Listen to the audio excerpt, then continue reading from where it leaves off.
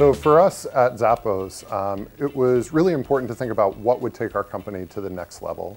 Um, research has shown that every time the size of a city doubles, productivity per resident goes up by 15%.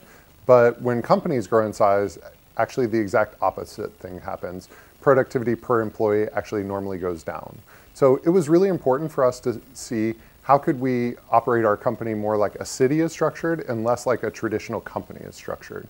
Um, and really what's at the heart of that, we believe, is um, allowing emergent design. So allowing things to emerge, um, people to sense opportunities, to see, um, to sense into what they think is the best thing for the company and to actually do something about that.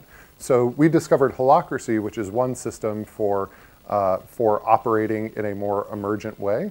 Um, and we believe that that will take us, uh, take us to the next level and allow us to get more productive as we scale instead of less productive as we scale.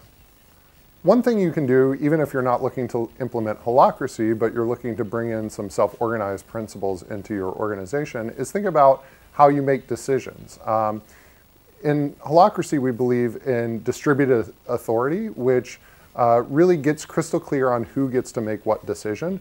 Um, and I think that could be brought into any organization.